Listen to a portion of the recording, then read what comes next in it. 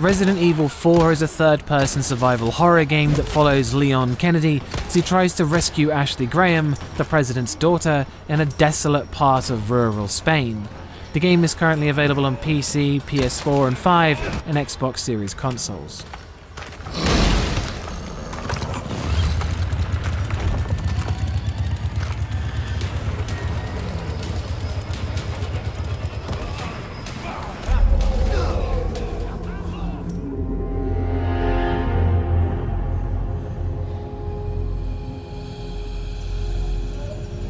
Atmosphere Thanks to the upgrade in graphics and the effort put into the redesign, the village and forest areas are even more vile than before, and teeming with little details that add so much to the environmental storytelling, giving even the smallest and most insignificant room a purpose.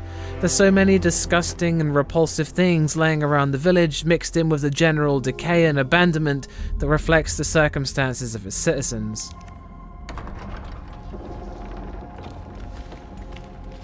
The castle is full of beautifully ornate and dramatic structures as well as medieval torture dungeons and dark dank crypts and tunnels, and the island is a mechanical maze of foreboding military structures and cold clinical test labs.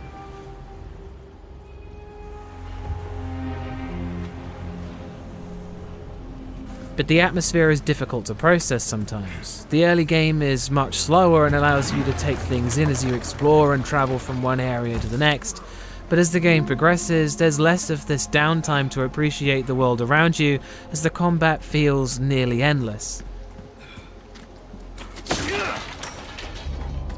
The combat itself is still very intense, and even with more accessible controls, it's stressful enough with the haunting music playing in the background that it can make some encounters feel much more desperate than they really are.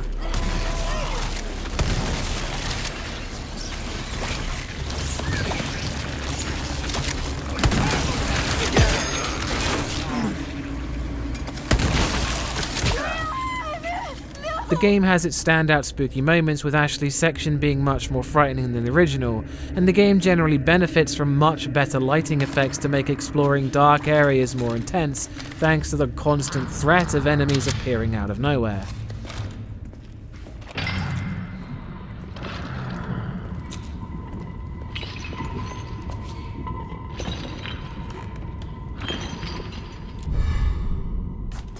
Whilst the atmosphere is greatly improved, it still suffers from the same things as the original, but admittedly a lot less. There's far less cracking jokes, and whilst Leon himself is a powerhouse and the controls are much easier to handle, it feels like the combat requires the same amount of attention thanks to there being more mechanics like parrying and weapon durability on knives.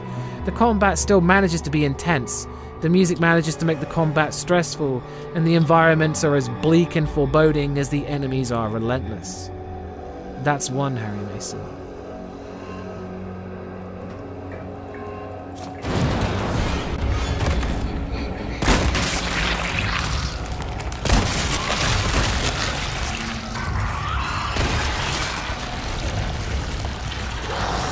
What the fuck? Scares. Much like the original game, the scares are a bit lost in between the constant action and story sections, there's several spooky moments spread throughout, but even with things like the regenerators, the scares are very few and far between.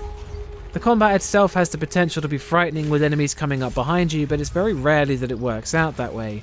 It never felt overwhelming, as I said in the original review, the combat is only really as frightening as you are prepared for it. The enemy redesigns are pretty frightening, with even the first enemy's face being frankly haunting, but the truth is that enemies are really only frightening in appearance the first time you see them, and after that you'll see them all the time and the fear dissolves as you gun them down like everything else. The scares that are in the game mostly consist of random jump scares and unnerving encounters with enemies, with the standout being again, Ashley's sequence in the castle.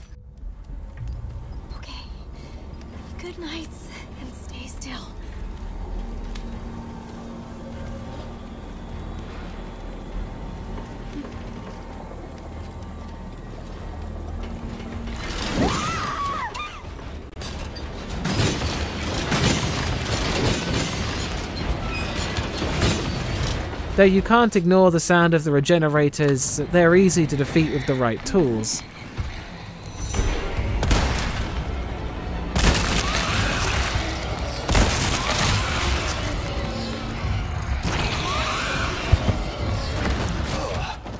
Even this thing is controlled by bugs. Whilst this remake is more frightening, or at least more successful in delivering those scares than the original, sadly the scares don't really balance out for the length of the game. That's still on Harry Mason.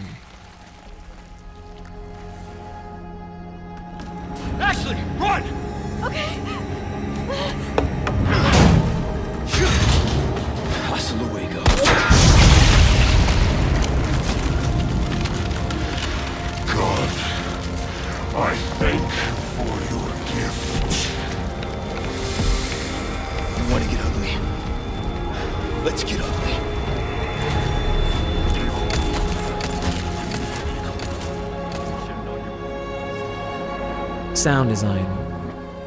The game's soundtrack is a real treasure trove of different ideas. It encompasses more traditional sad and slow strings that feel dusty and old, to the sound of grinding stone soaked in reverb.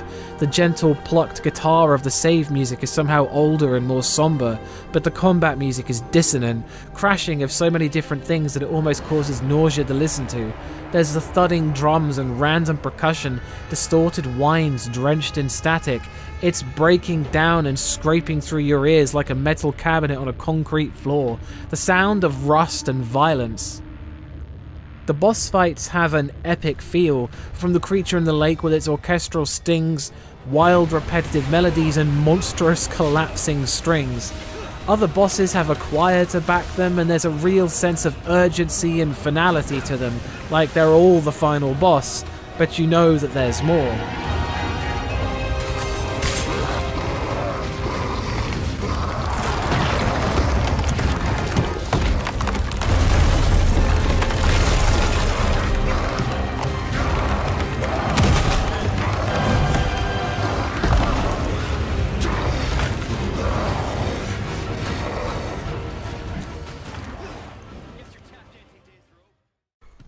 The sound effects are a treat to listen to, with even something as simple as opening your inventory being so immaculately produced that it sounds unrealistically good. And the effort has been put in everywhere else as well, from the sound of guns to opening doors to the eerie sound of Leon's footsteps through a puddle in an empty room. It's all pretty much perfect.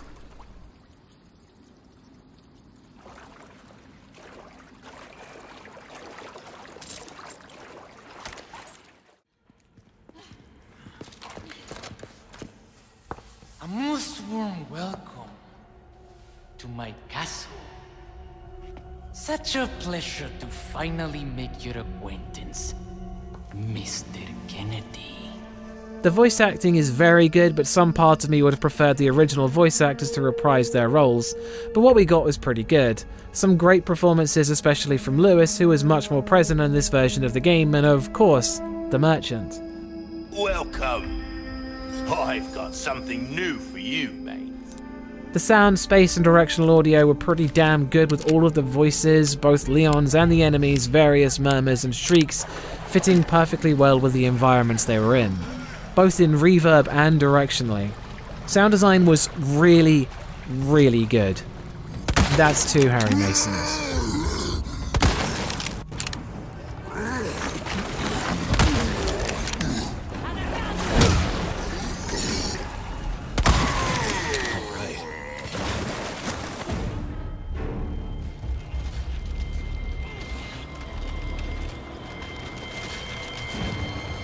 Gore.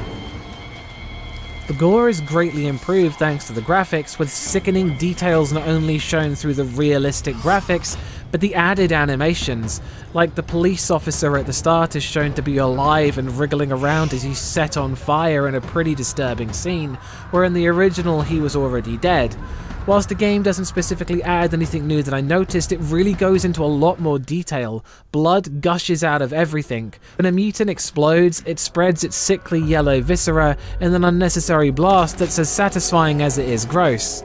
Fire mechanics will also leave enemies caught in the radius a smouldering black ruin, which is also pretty gnarly. The science experiments are truly nasty to behold, and the death animations are just as good as the original, if not better. Ultimately, the gore is more realistic in both the best and the worst ways. That's three Harry Masons.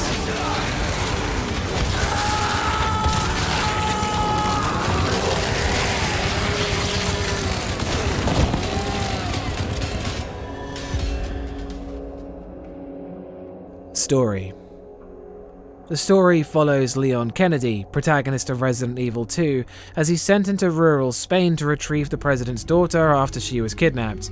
He arrives and after the brutal killing of his escorts, is left alone to hunt down Ashley Graham in a town full of seemingly hostile cultists.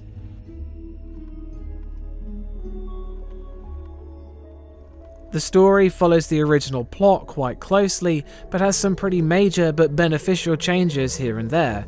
The biggest one is tone, with the game presenting itself as a far darker and more serious scenario, with characters realistically acting out how real people would react to the things that transpire. There's also a bigger focus on character interactions and spending time with them so that there's more meaningful connections to the characters you meet, which is never a bad thing. There's also a lot more notes left around that I don't remember from the original that described a lot of what was going on in the castle, which really built up Salazar's character a bit more, as well as some others that you don't really get to meet. The plot development and pacing is a lot better, with previous long gameplay sections cut up with dialogue, cutscenes, and notes to remind you of what's going on. The story splits up the gameplay just enough to not get in the way of the combat, but enough to keep the story in your mind. Really, the story was always pretty entertaining with familiar themes of science experiments gone wrong, but Resident Evil 4 added religious themes with a parasitic creature and a deranged cult leader that makes for an excellent backing to the great gameplay, and thanks to the redesigns, it works well with the horror elements too.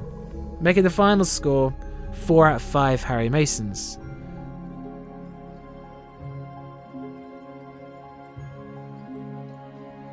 Resident Evil 4 was a classic and a staple in the horror genre, even if it's mostly known for adding more action into the mix, and the remake pushes it back into horror territory without compromising the experience.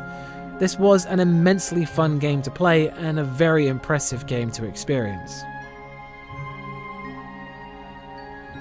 Again, I'd like to remind you the whole thing is down to my opinion in horror games, and if you don't share this opinion, then that's cool, I get it. I'd like to point out that whilst I too suffered at the hands of the Plagas, I did not give in to the infection, and I advise you don't either. There will be more horror reviews in the pipeline, and thanks for watching. And always go check out Bumps in the middle of the night. Peace.